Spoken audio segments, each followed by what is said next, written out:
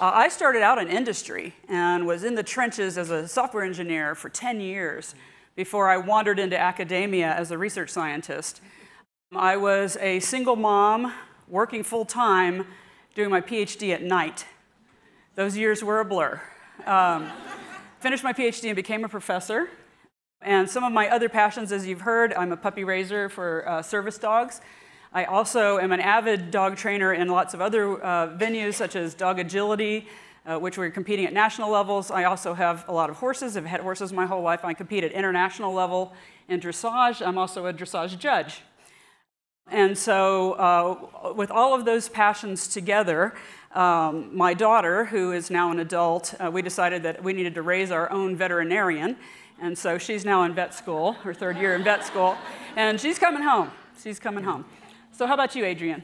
So I also started off in industry, and I tried desperately to let Melody train our dogs, but we had, had two delinquents, I think. So she, unfortunately, but we love them still. and I, you heard, I love dance absolutely love dance, and to the point of dance fitness classes, had a brief stint as a dancer for a semi-pro football team, very brief, very, very brief. But still, I've infused that into our children. So we have a five-year-old girl and a seven-year-old boy. And so fortunately for my non-dancing husband, they are my partners on the floor. So this, this has worked out well. All right, so this is going to be a conversation between the two of us. And you've already heard that we are in the brain-computer interface arena. So I want to broadly pose to Melody, what attracted you first to research? In industry, I loved being in industry. I loved making things and selling things and making something useful to somebody. But I would have these wild ideas that I wanted to explore, and I felt like academia gave me a little better venue for that, to be able to have these, these big dreams and to be able to just do whatever you want. The, the beauty of academia is what I consider complete intellectual freedom. Now, there's a caveat, and that is that your great ideas have to be funded. So, some of the advice that I give to my mentees uh, and my students now is become a really good communicator because you can have a great idea, but if you can't convince someone else that it's a great idea, it's never going to go anywhere. I got really good at writing proposals early in my career in industry, actually, and then later on in academia, and we have received millions of dollars of funding for our research. So I think that's a, a really key factor. What about you, Adriane? I fortunately had folks plant the seed early on. So when I was an undergraduate student, I had the good fortune of taking a course from a gentleman named Randy Pausch. And you might recognize his name from last lecture fame, that he passed away from pancreatic cancer. But it was an inspirational course to be able to take his usability engineering and understand about humans and design and whether we push versus pull the door, not because of our own intellect, but because of the way that thing spoke to us and the way it was made.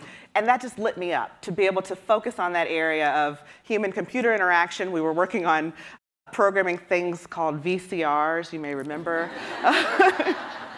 So this was just an exciting area within technology to be able to use my people skills as well. And then someone else who planted the seed to say, why don't you consider going back for a PhD? And at the time, I said, oh, I present really well. That's all that it takes, right, to be a, a, a successful professor. And the rest, the seed was planted and took root. Wonderful. So not just research, but the special area of brain-computer interface research. What got you into that, and do you have a background in neuroscience? Not one zip of background in neuroscience. I have three degrees in computer science, but what happened was I met a neurologist who was interested in this field, and I worked with him for many years. I absorbed everything I could. I um, learned everything that, uh, that possibly was out there about neuroscience. So I was inspired, though, to go into assistive technology because my grandmother, who I called Mimar, had MS, and she was completely paralyzed except for her left hand. Now, when I was a child, I never thought anything about that. I sat on her lap, we rode around in her wheelchair, which was a manual chair, by the way. She never even had a power chair. And she took care of herself. She raised three children, and she held down a full time job as a librarian in their little town in West Point, Georgia. And as I became an adult, I realized how astounding this woman was. And I started thinking, what could she have done if she had a computer? And so that inspired me to raise puppies for service dogs and also to go into this field because there are people out there, there's half a million people worldwide who are locked in, which means completely paralyzed and unable to speak. They're thinking, feeling, understanding, just like you and I are, but they cannot communicate. And so I was very inspired to go and try to help this population of people. What about you? Well, does it count that I wanted to take marine biology just to dissect more stuff? Uh, okay. Well, I think in my other life it would be a neurosurgeon. So that's what I've channeled into this area of brain computer interfacing, learning enough to be dangerous, but then taking the systems view. And I think that's the strength that I have brought is being able to see end to end what is happening for a system and bringing in the best of neuroscience and computer science and incorporating that into an interface that is useful to someone. And Fortunately, meeting someone who has already gone ahead before me to open those doors within this very niche area of human-computer interaction. So when I met Melody, and that was when I was interviewing and looking at doctoral programs, I met her and instantly realized I'm, I'm doing whatever she's doing. the, the synergy, you, you hear mm. about her background, but I, I, resonated with that. I saw this other person who was a geek with good social skills and being to leverage that in this highly specialized area. But not only that, is that she saw me as a complete person. So I told her recently that she didn't realize she had signaled something to me when she started speaking about the historically black colleges and universities in the area. And just by that statement said to me, she recognized me as a black female that's part of my whole identity. And it didn't have to be a, a, big thing. It's just that she acknowledged in just a very subtle way seeing my complete self. And that's what I wanted to be able to bring to whatever environment is that someone saw me as a whole.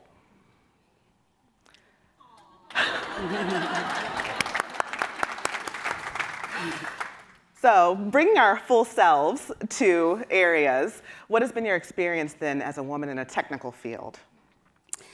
Well, I may be an anomaly, but I really have never experienced any kind of traumatic uh, prejudice as being a woman in a technical field. I see being a woman as an advantage. Being the only woman in the room, which was a lot of my early career, I saw that as an advantage. I stand out. I'm unique. I get noticed. But the caveat here, and I'm, I'm full of caveats, is that you have to know what you're talking about. You have to be the expert in the room. You have to be useful. You have to be competent. And I, I, stress this to all of my, my female students, and I've had quite a few. Be the expert in the room. Hone your communication skills. I think communication is probably the key in both industry, academia, any field that you go into.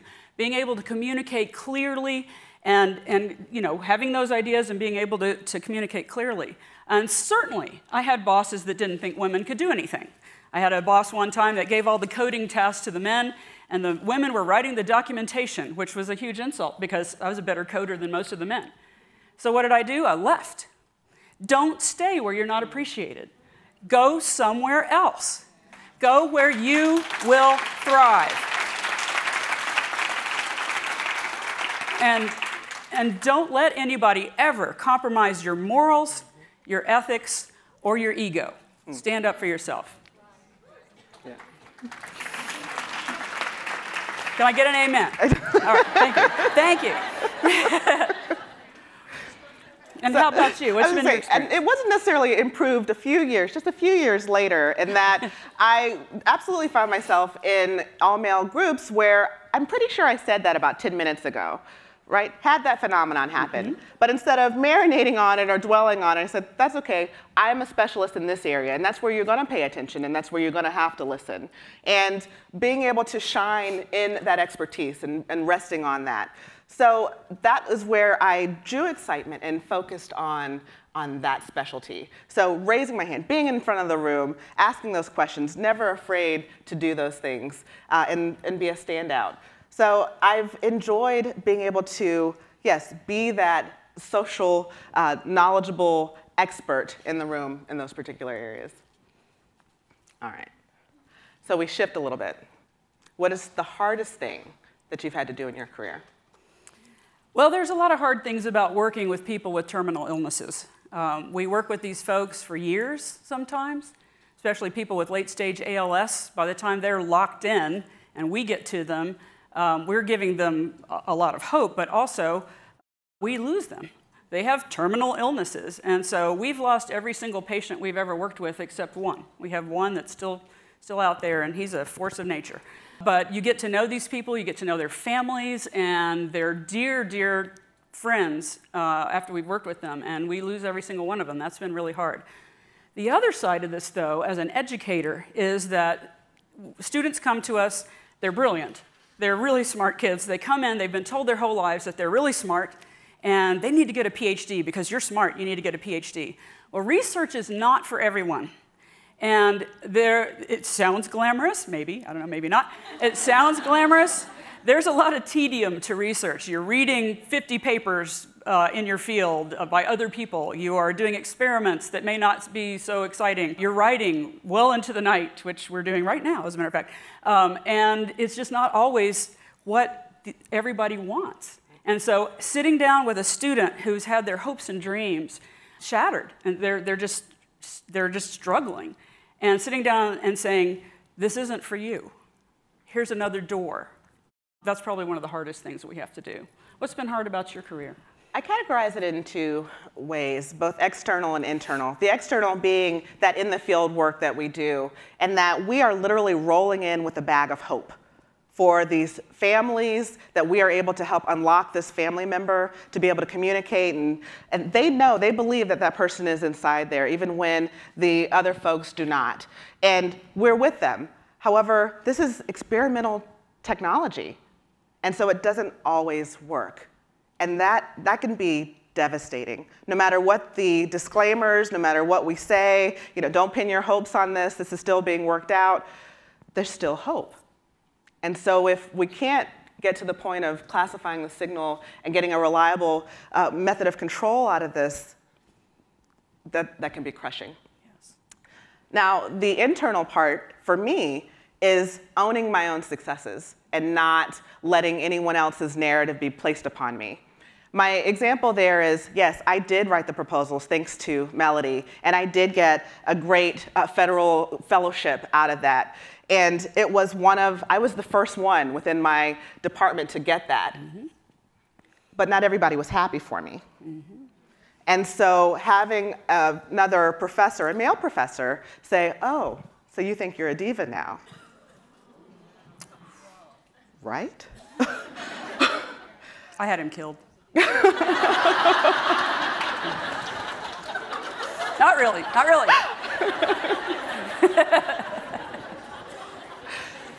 how, do you, how do you move beyond that and not own that narrative and say, no, this is fantastic, and I, I do not accept what you've just said to me. And further, if you were everything that you wanted to be, you wouldn't have said that to me, right?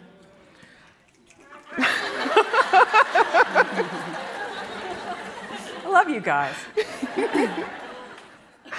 so that's been a, an ongoing challenge, though, right? Letting that light shine. So we'll end on this one. What's been the best thing? Oh. I get to ask you the yes. last question. So continuing on, what's been the best thing? We just did the depressing part. What's the best thing about your work?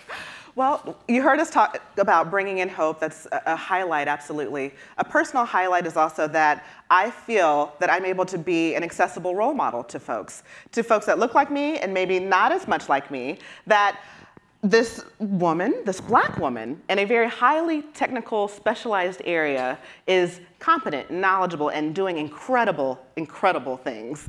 And more importantly, that I've got two little folks in my house that I'm able to show that to. So I have a billboard on the highway, by the way. But better than that, my five year old daughter made a poster on her presentation day of me as an inventor.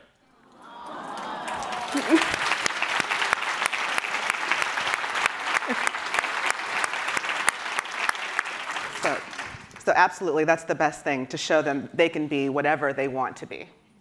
So how about you? Well, to wrap up in five seconds, as many inventions as we've had, as many patents as I have, as many devices we've created, that's not really my product. I finally realized this as I start contemplating retirement eventually. My product that I'm most proud of is you. to be able to create a new generation of brilliant, confident, competent researchers that are going to carry on and go beyond my wildest dreams to change the world.